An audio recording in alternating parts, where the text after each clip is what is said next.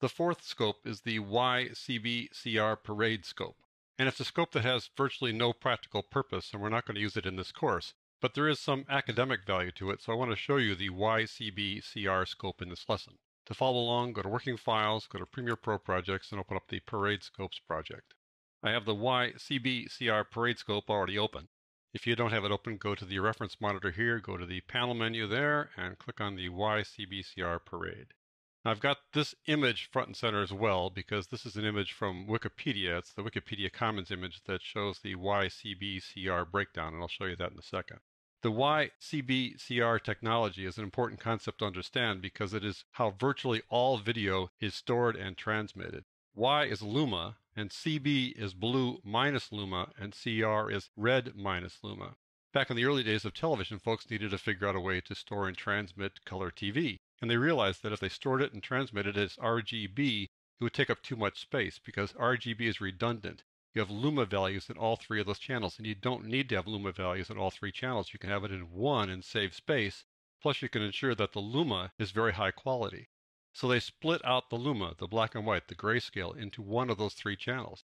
Then they figured out a way to display color by using just two channels instead of three, the so called CB and the CR, the blue minus luma and the red minus luma. So that's how video is stored in its native format and transmitted.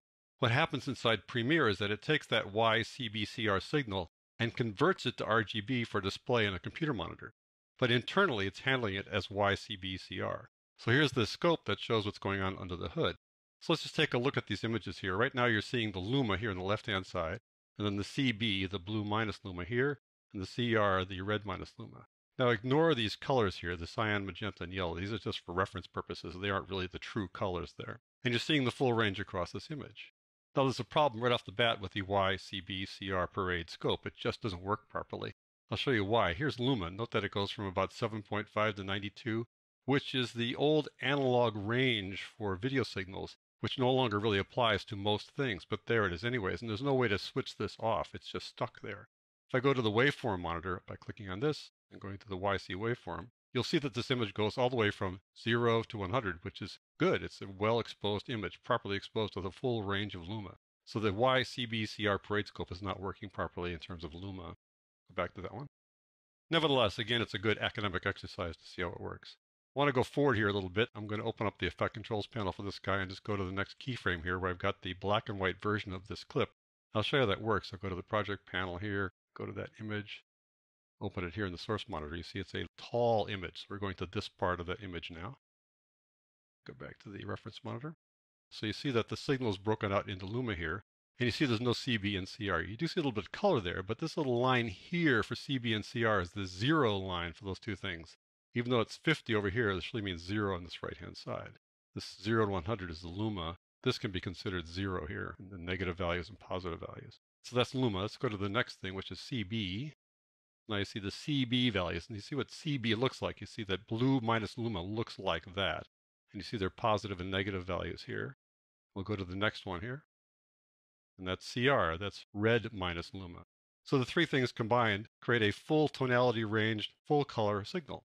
Another reason to know about this is that under the hood, behind the scenes, some video effects work only in the YCBCR space. And you can see that by going to Effects here, clicking on that tab, and clicking on this badge, the YUV badge. And that shows all effects that work inside the YCBCR space. They use YUV here interchangeably with YCBCR. In fact, they're two different things, but they're so close together that people use these terms interchangeably. YUV is generally used when you're talking about analog signals, and YCBCR is generally used when you're talking about digital, but they're so closely related that people use them interchangeably.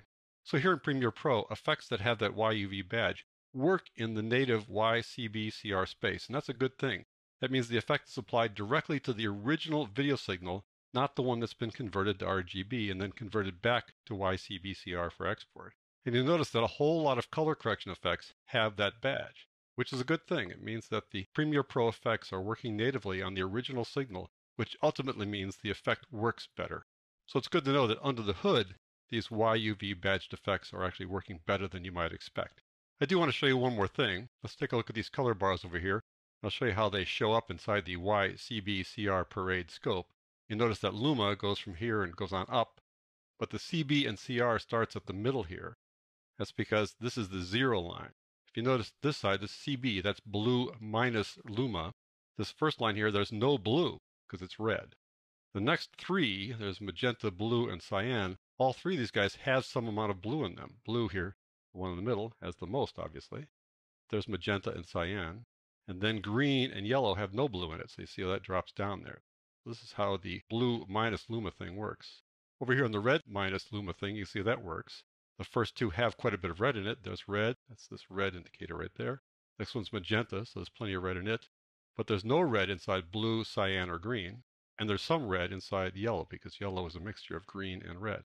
So that's how the YCBCR parade scope works. It's not likely something that you'll ever use on a practical level, but I think it is important to know what's going on under the hood here inside Premiere Pro.